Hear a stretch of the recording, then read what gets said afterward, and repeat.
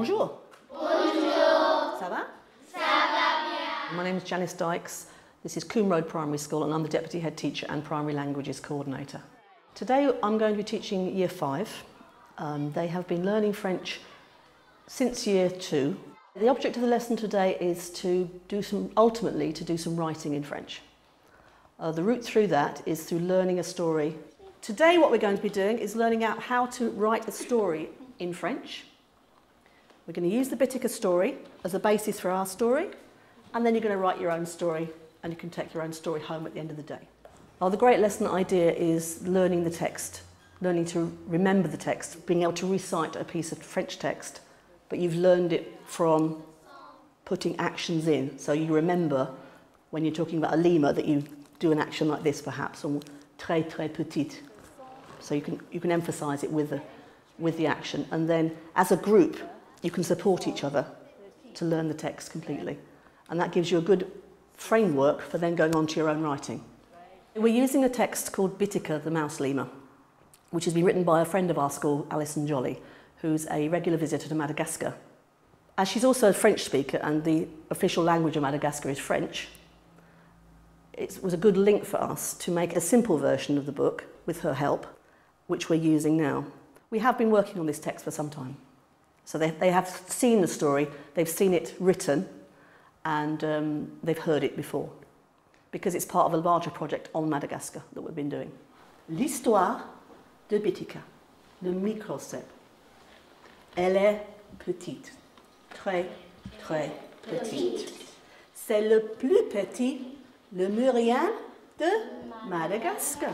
So I'll, I'll tell them the story, waving the pictures of the lemurs at them as I go. Then they are going to have a paragraph from the story for five or six children to work on together. And they are going to learn it off by heart, using their own gestures, or they might use the ones I've used with them before. Then we'll come back together and we'll perform that in five parts. Il voit sa mère de Bitika. Il attaque. Bitika crie Maman! Il. Maman se souvient.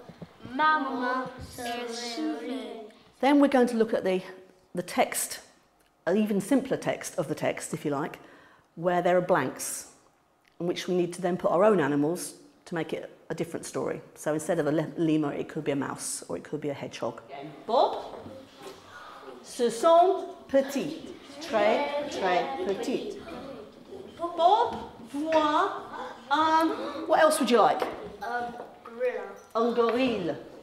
That we'll do together and we'll read it out together and then in talk partners they're going to sit with a scaffolded version of the text to fill their own blanks in and what would happen it won't happen in this lesson but in another lesson they would actually write that out so they've actually written a whole story in French and illustrate it maybe make it into a book Très, très.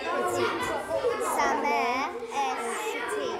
Très, très petite. Ah, un singe singe right now sound is a boy word so we'll have il.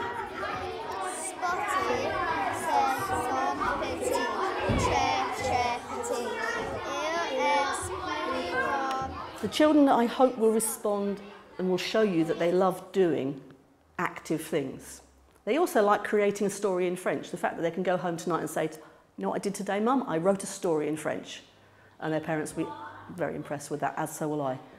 At the end of the lesson, they'll be more confident in speaking and writing in French and reading too, because they're having to read that text in order to recite it.